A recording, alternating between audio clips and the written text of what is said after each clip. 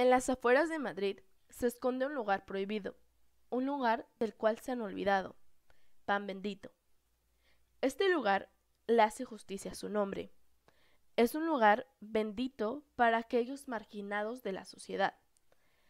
Tomando el tren en la estación Oporto, llegas a Pan Bendito, que está ubicado 45 minutos al sur de la capital española. En Pan Bendito puedes encontrar árboles rodeados de bolsas de basura, pero también puedes encontrar una mano amigable cuando la necesites. Al fin y al cabo, aquí en Pan Bendito están todos los despreciados.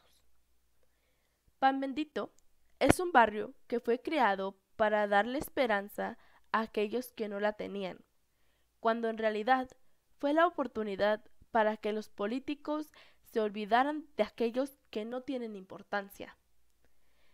Este fue un barrio fundado en los años 50, con la finalidad de alojar a la comunidad obrera que estaba emigrando a la ciudad de Madrid.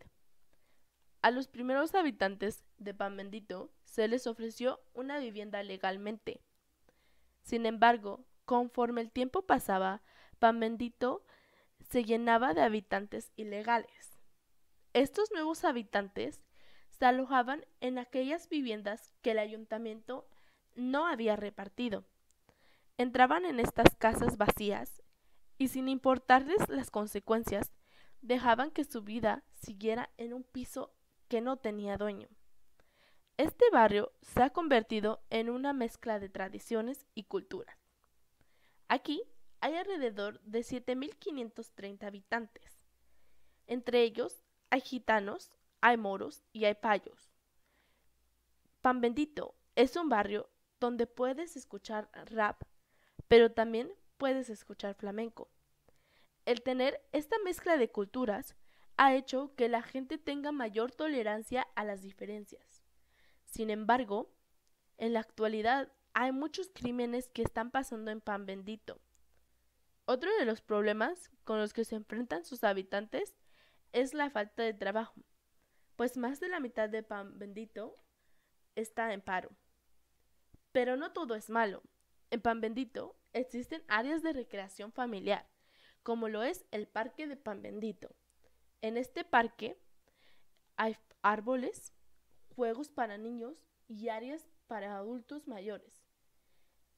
Este parque es para que las familias puedan disfrutar de un día soleado pero desafortunadamente la inseguridad del barrio se los prohíbe.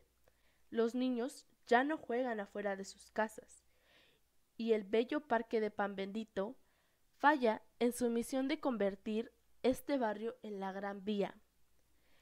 Otra de las atracciones que ofrece Pan Bendito es el abandono escolar, pues la educación es un valor que se ha perdido poco a poco en este barrio. Uno de, los ejemplos más claros del abandono escolar es que el 81% de los habitantes de Pan Bendito abandonaron la escuela antes de terminar su educación secundaria. La violencia y el paro no son más que un reflejo de la falta de educación que existe en Pan Bendito.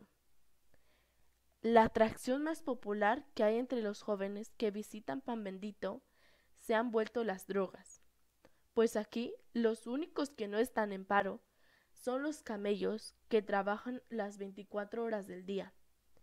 Pan Bendito no es más que uno de los muchos barrios obreros de Madrid que están sufriendo por la mala economía que hay en el país. Este es un barrio del cual se han olvidado, porque aquí no vive una marquesa, porque aquí no viven unos reyes, pero nosotros no debemos de olvidarnos de él tenemos que demostrar que los lugares con variedad cultural tienen un futuro seguro y próspero. Así que no debemos dejar de visitar Pan Bendito.